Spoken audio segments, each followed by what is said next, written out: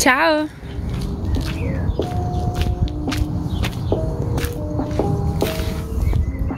Eccoci qua, vi vorrei parlare del Sacro Cuore di Gesù che è eh, un aspetto di, di Gesù, come dire, un suo aspetto che io amo particolarmente. Il Sacro Cuore di Gesù rappresenta l'amore che Gesù ha per noi, per ciascuno di noi, che è un amore eh, pienamente divino e pienamente umano e che lui ha manifestato nella, in particolare durante tutta la sua vita, ma in particolare nella passione morte in croce, e dove lui ha sofferto per ciascuno di noi.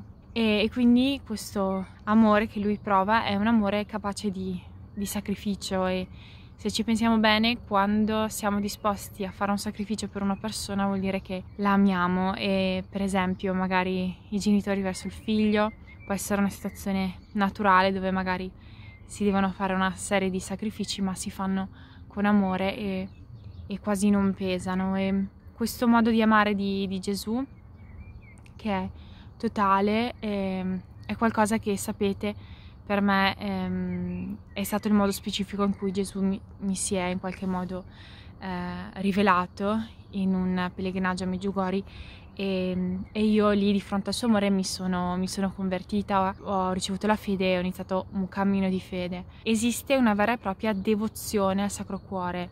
Devozione vuol dire amore al Sacro Cuore. Esistono tantissime devozioni che riguardano tantissimi aspetti di um, di Gesù, ma anche di Maria, di, dei santi. Il catechismo della Chiesa Cattolica eh, parla del Sacro Cuore di Gesù e vi riporto magari qui sotto che cosa scrive. Sono pochissime righe, ma eh, belle e che, che proprio eh, vedono nel cuore di Gesù il suo eh, amore infinito per ogni uomo e dovete sapere che appunto questa devozione al Sacro Cuore è molto forte, molto presente nella storia della Chiesa uh, perché eh, è, nel 1600 ci sono state delle apparizioni a una suora che è stata poi dichiarata santa, che è Santa Margherita Lacoque, che nel 1600 ha avuto delle apparizioni di uh, Gesù. Quindi Gesù le è apparso e le è apparso con il proprio cuore in mano, un cuore che è rappresentato con la croce, con delle fiamme, uh, la corona di spine e anche un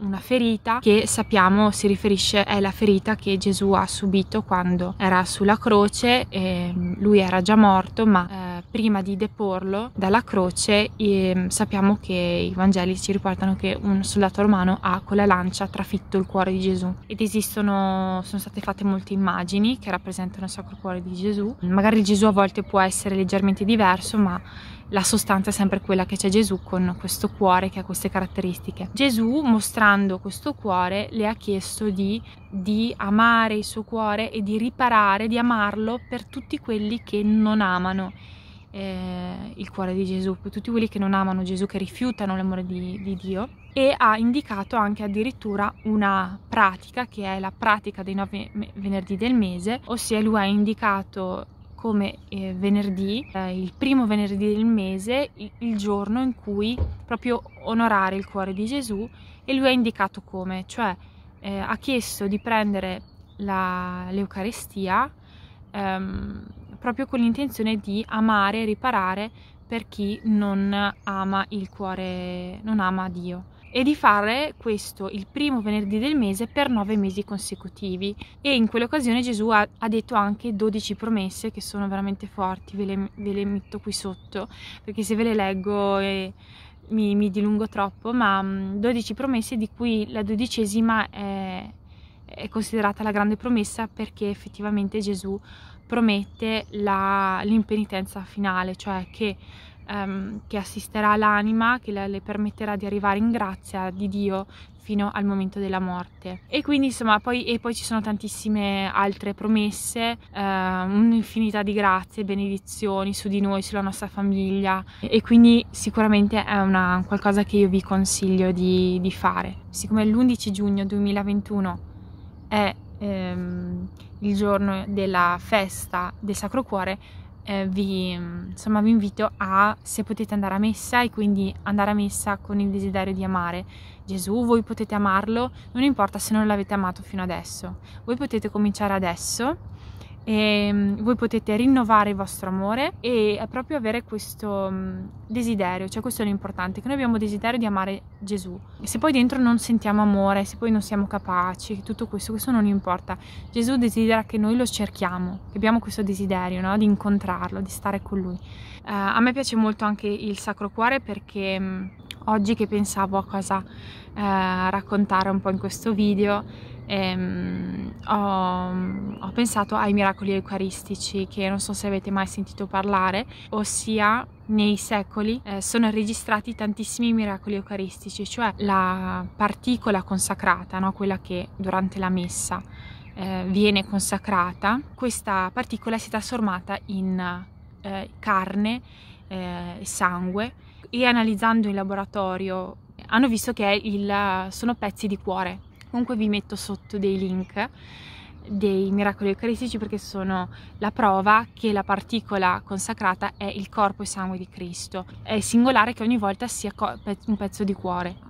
Noi sappiamo che Dio è amore, no? Ed è, credo, l'essenza più profonda eh, che dice di Dio, no? Che racconta di Dio. E poi l'ultima cosa che volevo dirvi era di stare appoggiati al cuore di Gesù. Io leggendo la mm, Gabrielle Bossis, che mm, è una mistica Novecento, no? che vi ho fatto anche un video, lei ha parlato, eh, lei aveva, eh, sentiva la voce di Gesù che le parlava, praticamente tantissime volte lei le invita a appoggiare proprio, eh, la propria testa sul, sul petto di Gesù, no? quindi sul cuore di Gesù e di stare così, di stare così come proprio come con lui. E oggi guardando su Instagram ho trovato una cattolica americana che ha detto una cosa geniale, che è vero, che praticamente il primo che ha avuto devozione al Sacro Cuore di Gesù è stato San Giovanni Apostolo, perché se pensate alla all'ultima cena, no? ai quadri dell'ultima cena, vedete sempre che San Giovanni eh, Apostolo viene, viene, rappresentato con la testa appoggiata sul petto di Gesù, no?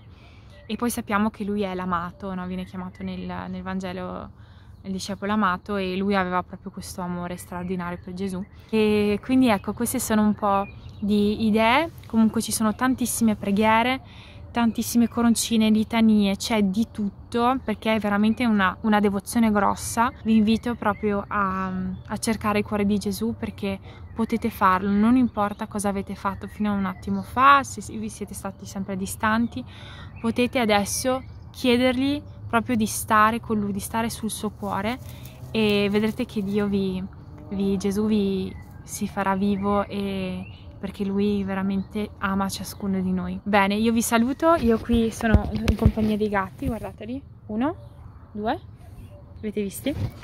E buona giornata, buona serata, vita. Why is the sun a host in the sky?